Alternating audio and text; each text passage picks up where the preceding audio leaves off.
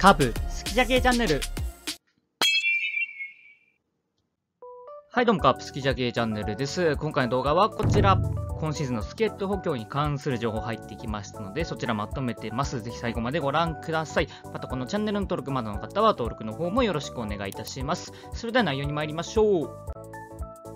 さあ、というわけで遅い時間なんですけど、まあ、オールスターとかもね、えー、ありまして、えー、ざーっとちょっとカープのニュースとかを見ていたんですけど、まあ、カープの助っ人補強に関する、まあ、ニュース、情報がね、えー、ありましたので、ちょっとそちらについてね、えー、まあ、まとめていきたいなと思っております。えー、まずですね、中国新聞さんの方ですね、えー、で、まあ、ここ1ヶ月か2ヶ月ぐらいですね、えー、エルドレッド、中米スカウト同行記といった、まあ、ドキュメンタリーというんですかね、えー、エルドレッドさんがアメリカの方でどういうふうにスカウト活動を行っているかというのをね、え、連載が行われていました。で、まあ、そこにはどういうふうに、選手探しているのかっていうのがね、記されていまして、で、まあ、タイミング的にも、まあ、夏前に出ていたということで、まあ、今年の夏のね、獲得に向けて、えー、こういう活動をしているよという連載かなというね、まあ、予想もま一部でありました。まあ、ただですね、その連載が7月24日に更新されまして、そちらの方でですね、広島は7月中の新戦力獲得を断念したと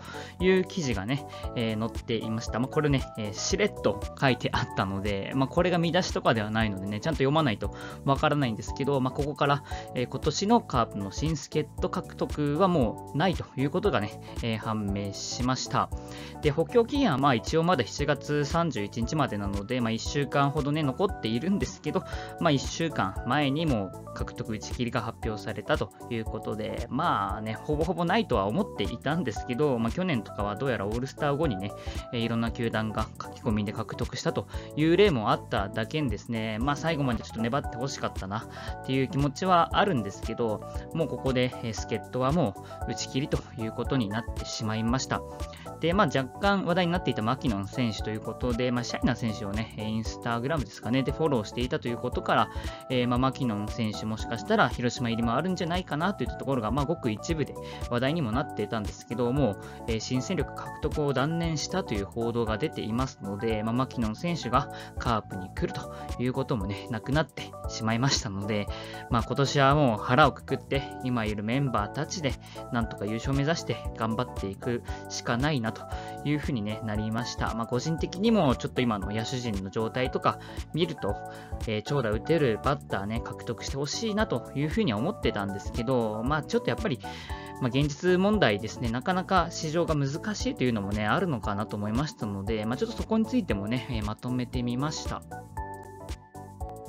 はい、ということで、ここでですね、まあ、苦しい助っ人市場ということをね、まとめていきたいと思うんですけども、こちらにですね、今年から加入した主な、え各球団の新助っ人選手をね、えまとめてみました。え、このようにね、え、ずらっと載せているんですけど、まあちょっと今年もね、え、いろんな球団の助っ人選手たちが苦しんでいるなというのがね、正直なところかと思います。まあカープで見ても、レイノルズ選手なんかも帰国しちゃってますし、シャイナ選手も、まあ、まだ打席数少ないとはいえど、ここまでね、えー、まだ活躍できていないということで、まあ、助っ人であればね、もう夏場なので、バリバリ一軍で出てほしいなというところではあるんですけど、まあ、それができていないという状況になっています。で、また、えー、巨人のオドアト選手もね、もう早々に帰国していますし、えー、まあ、ヘルナンデス選手はね、途中獲得なんですけど、まあ、一番の当たりと言っていいんじゃないですかね、もうここまで41試合に出場して、えー、非常に素晴らしい成績残しているので、まあ、巨人は本当にこの助っ人獲得、うまいなというふうに感じました。で、さらに巨人は直近でモンテス選手も獲得して、えー、まあ、ここもね、着々と、えー、力つけているというところで、DNA はフォード選手ね、えー、こちらもオーフティ選手とか、え宮崎選手がいて、内野手ね、打てる選手たくさんいるんですけど、えさらに、え補強としてフォード選手を獲得したということでですね、まあ、DNA と巨人は本当にいい助っ人獲得をね、えシーズン途中でもしているなというのはあります。で、中日の1年目のディカーソン選手は、えここまで27試合の出場で、まあ、こちらもね、OPS6 割飛んで1輪ですから、なかなか活躍できておらず、で、オリックスのトーマス選手も、え、まだ7試合の15打席出場で、未だヒットがないという状況に終わってます。で、西武は2人、え、新助っ人獲得してますが、マギラ選手、えー、124打席に立ってますが、OPS5 割7分5厘で、コロデロ選手も、え、打席スあまり立てずに OPS が3割5分1厘ということで、まあ、この2人が外れているということがね、今の西武の低迷というのは大きく影響しているなという印象があります。で、日ハムも2選手いまして、レイス選手は51試合に出場して、まあ、OPS7 割6分5厘ということで、まあ、打率低いんですけど、まあ、ホームラン8本打っているということで、まあ、これはまあ期待に応えているんじゃないかなということが予想されます。で、もう一人のスティーブンソン選手、こちらは20試合で OPS3 割8分7厘と、えー、苦しんでいるということでですね、まあ今年のね、各球団、カープ以外のね、助っ人を見てもですね、まあ、どの球団も多くの選手がね、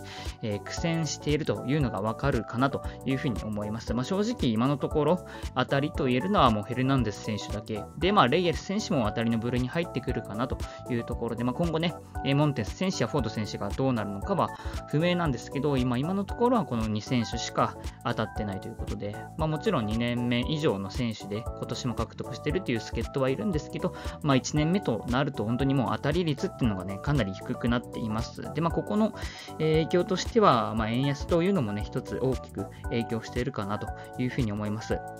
先ほどの記事の中で紹介があったのはね、2012年、エルドレッドさんがカープに入団した時は1ドル80円付近だったんですけど、もう今はね、1ドル150円台の後半ということで、まあ、日本の球団が助っ人獲得するとなればね、まあ、当時のまあ約2倍ぐらいのね、年俸、お金がかかってしまうということで、まあ、その分、いい選手も取りづらくなっているということで、なかなかね、日本球団にいい選手が来るというのが減っているかなと思います。います。で、もう一つが、まあ、日本のピッチャーのレベルアップですよね。まあ、非常にここ数年日本ピッチャーレベルアップしてますし、まあ、今年は、まボールの影響もあるのかちょっと不明ではあるんですけど、まあ、投稿立ての環境ということもあって、まあ、助っ人選手もなかなか苦労しているっていうのがあるというふうに考えられます。なので、まあ、このね、2つまとめると、まあ、多分ね、途中で獲得してもヘルナンデス選手のように獲得するという、あの活躍するケースはあるんですけど、まあ、そもそもいい選手が取れないというのと、まあ、今年の環境にね、えー、馴染むのに、まあ、あと50試合とかで、えー、馴染めるのはまどうかな、難しいかなというところもあって、えー、カープ途中でね、助っ人獲得ができなかったのかなというのが、まあ、正直なところかなと思うので、まあ、本当に、ま、本心としては、えー、取ってくれよという気持ちはあるんですけど、まあ、仕方ないなという面もね、あるかなというふうに感じてます。ま、なので、新井監督のね、え補強いらないといったところもね、ま、おそらくこういう事情を考慮して、えま、どうせ、どうせと言ったら失礼ですけど、まあ、いい選手は取れないだろうということで、ま、そういった選手が日本に来て、えここからね、50打席、100打席与えるぐらいなら、まあ、守備をね、固めたり、えー、まだまだ、え経験もあるという選手を使った方がいいという考えのもとね、そうなったのかなというふうに思うので、まあ、本当にもう仕方なかったっていう面がね、強いのかなというふうにも感じています。では残り期間での補強は終わりかということで、まあ、まだあと1週間ね、一応ありますので、まあ、1つは育成選手の支配下登録というところですよね。まあ、2軍では、まあ、バッターでいうと、前川選手が、えー、好調でアピールしていますので、もうこれはね、もうぜひ支配下登録してほしいと思います。まあ、枠にもね、空きがありますし、まあ、助っ人も獲得しないというのであれば、もう今年埋まることないので、ここはもう支配下していいかなと思います。まあ、2軍で今年ね、えー、まあ、ツーベースとか長打をね、打っていますので、まあ、そういう選手は必要だなといったところころでね、えー、まあ、ショート、セカンドといったところで、なかなかね、1軍で使いづらいポジションの選手ではあるんですけど、まあ、ちょっとだけね、1軍で打席立たせてみたり、まあ、ファーストとかもね、えー、守らせるということもしても面白いんじゃないかなと思いますので、そこはね、一つ、えー、考えてみてもらいたいなと思います。で、あとは、まあ野手ではないんですけど、まあ、岡田投手や杉田投手もね、え支配下のチャンスがあるかなといったところで枠にね、余裕がありますので、まあ、こういうピッチャーたちもね、駒が増えれば、またね、夏場乗り越えていくこともね、できるかなと思いますので、まあ、そういった選手たちにもぜひ試合化登録が、まあ、あと1週間考えられるかなと思ってます。で、もう一つは他球団とのトレードですね。まあ、正直これは可能性かなり低いかなというふうに思います。で、まあ、以前、えー、まあ、前にね、挙げたんですけど、まあ、中日のビシエド選手とかね、えー、なかなか出場機会に恵まれていないけどいい選手っていうのはまあいますので、まあ、そういった選手に対してトレードで獲得となれば、まあ、非常に熱いなというふうには思うんですけど、まあね、正直ないかなというふうに思ってます。。まあ、カープ側から、まあ、現状出せるよという選手もね、えー、いませんし、まあ、みんな戦力として考えられているというところだったりね、まあ、相手から欲しいと思われる選手もね、えー、まあ、ビシエド選手とかになるとね、非常にいい選手出さないといけなくなってしまいますので、まあ、そこら辺を考慮すると、難しいのが正直なところかなというふうには思っていますので、まあ、今年の補強というのはまあ正直、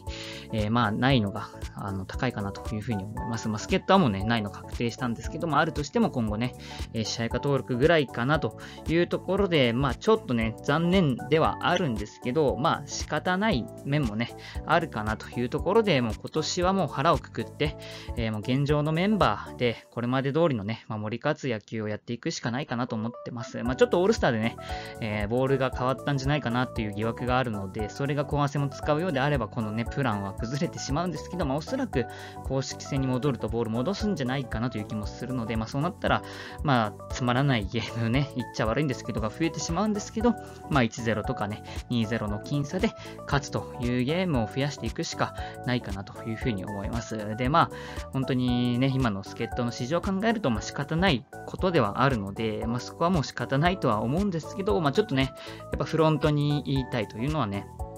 まあ、マックブルーム選手とね、デビッドソン選手2選手を切ってしまったという判断ですよね。まあ、せめてどっちかをね、残すと、まあ、保険でね、残すということでも、えー、できていればというのがね、あるんですけど、まあ、2選手ともね、戦力外にした後、他の NPB からも声かかってなかったので、まあ、妥当な判断ではあったかもしれないんですけど、まあ、今のね、えー、助っ人市場の状況っていうのを考えると、まあ、保険で、まあ、どっちかね、残していても、まあ、面白かったかなというのはね、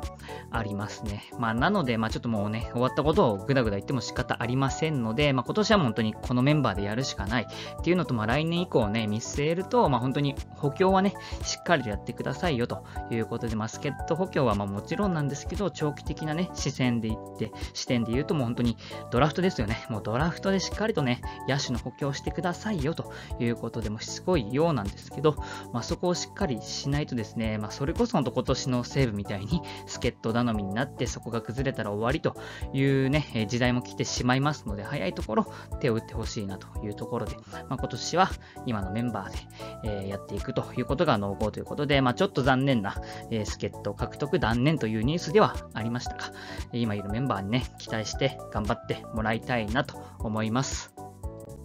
最後までご視聴いただきありがとうございました。今回は今シーズンの助っ人補強に関するニュースをまとめてみました。残念ながら助っ人獲得は終了ということでしたが、今いるメンバーで優勝目指して頑張ってもらいたいと思いますので、応援していきましょう。このチャンネルの登録まだの方は登録もよろしくお願いいたします。それではカープの勝利によりまして、シャーカープ頑張れ